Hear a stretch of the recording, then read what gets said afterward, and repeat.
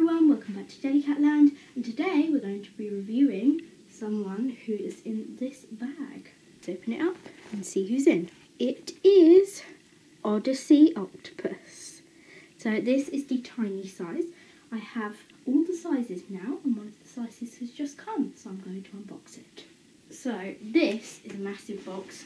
This has my huge Odyssey Octopus in it. I've already opened it up so you don't have to watch me painfully try to open it. So here we go.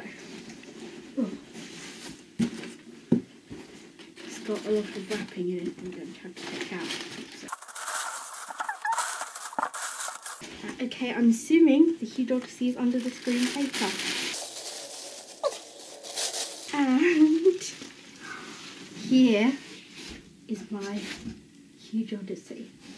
Oh, it's so soft on to the review. First up, we have this tiny Odyssey octopus. He is really great for having on a desk. He's extremely cute and you can kind of hold him like this. Next up, we have the small Odyssey octopus. You'll see a few changes on this one. Now we have these beautiful glass eyes. I would say the small sizes come really soft. Um, he's got quite a lovely squishy head. You can still use him on a desk if you want to. This is a size comparison between tiny and small. Next up, this is the large Odyssey octopus. So this is a really lovely octopus. Um, really great for cuddling. Um, again, very squishy head, lovely glass eyes and really stringy, long, beautiful tentacles. Here is a comparison between small and large. Next up, we have the one that you just saw me unbox, this lovely, huge Odyssey. This Odyssey is really good for um, if you think that the large size is a little too small for you, but the really big is too expensive and too big. This will be the perfect size for you. She still has them lovely stringy tentacles. They are longer. She's got the lovely glass eyes, still got that really squishy head, and um, great hugger. This is a comparison between large and huge. Finally, this is the really big Odyssey octopus. So best for cuddles, you can sort of wrap the tentacles around you um, they've got again the beautiful glass eyes. They're really cute. Um, lovely stringy tentacles.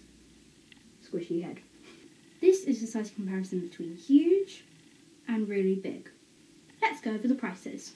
For the tiny Odyssey Octopus, we'll be looking at anything around 12 to 15 pounds. For the small Odyssey Octopus, 20 to 25 pounds. For the large Odyssey Octopus, around 38 to 42 pounds. Huge, 60 to 70 pounds. And for the really big, I'd say probably 90 to 100 pounds.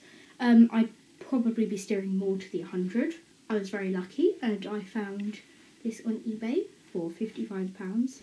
He is basically brand new, he just doesn't have a tag.